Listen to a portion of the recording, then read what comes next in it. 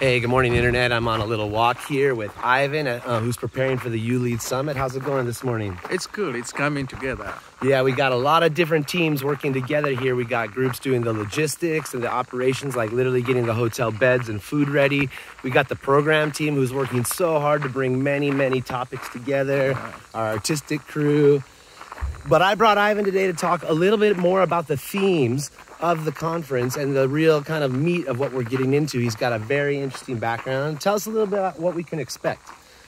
Uh, the issue is about leadership and the space of youth in the process of decision making and uh, the role um, in development uh, of this region. We talk about regionalism and regional integration for this region and for Africa in general.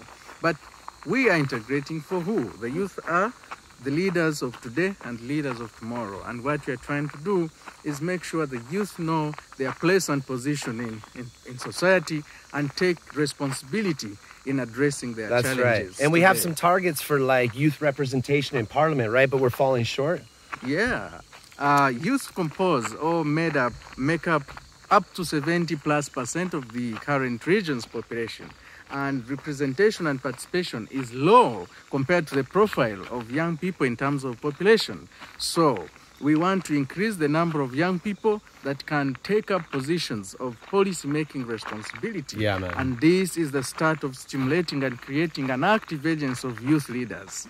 Beautiful. It's so inspiring. Tell me about some of the types of youth leaders that are going to be coming to join us. You can expect so many varieties of young leaders from young politicians such as members of parliament that represent youth constituencies. You can expect chairpersons or CEOs of national youth councils from across the region. You can expect under 40 CEOs of companies and corporate bodies. You can expect regional parliamentarians of the East African Legislative And then Assembly. sitting right alongside those people, there'll be youth migrants who are leaders in their communities, refugees. Yes, yes, talk about it. Refugees are part of the rapidly growing population of the region, and we don't want to leave anyone behind. Yeah, man. So, refugees are a key feature of this summit. We want to give them a space, we want to give them a voice, and know how they are doing while settling in their new communities and countries.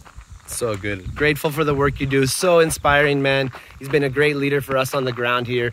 We're so excited to welcome everybody to the MT's, MSTC DC campus here soon. We'll see you after the weekend. See you, YouLead is here, YouLead 2019, leaving no one behind. Yeah.